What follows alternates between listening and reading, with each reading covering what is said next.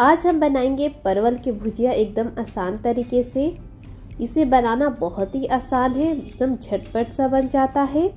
चलिए देखते हैं इसे हम कैसे बनाते हैं। परवल की भुजिया बनाने के लिए सबसे पहले हम यहाँ पे परवल को काटने से पहले इसे अच्छी तरह से धो लेंगे। उसके बाद इसे हम काटेंगे, दोनों तरफ़ से इसे काट के निकाल देंगे, फिर इसे हाफ़ कट करेंगे।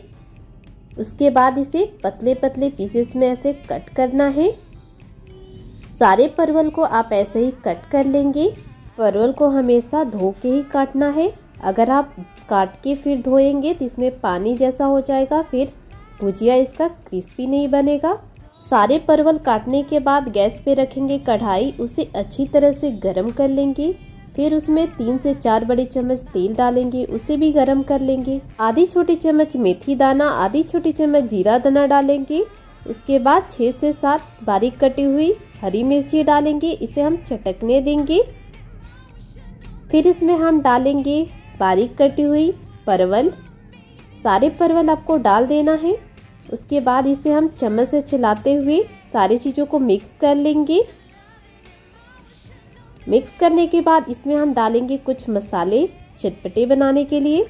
आधी छोटी चम्मच हल्दी पाउडर, आधी छोटी चम्मच लाल मिर्ची पाउडर आधी छोटे चम्मच काली मिर्च पाउडर डालेंगे, स्वाद अनुसार नमक डाल देंगे। सारी चीज़ों को डालने के बाद मिक्स कर लेंगे। गैस को हाई कर देना है। हाई करने के बाद इसे हम थोड़ी देर छोड़ देंगे। ऐसे चारों तरफ़ फैला के, ताकि इसमें से जो पानी है वो निकल जाए। आप थोड़ी देर बाद चलाएँगे। आप देखेंगे कि इसमें से पानी पूरा निकल चुका होगा।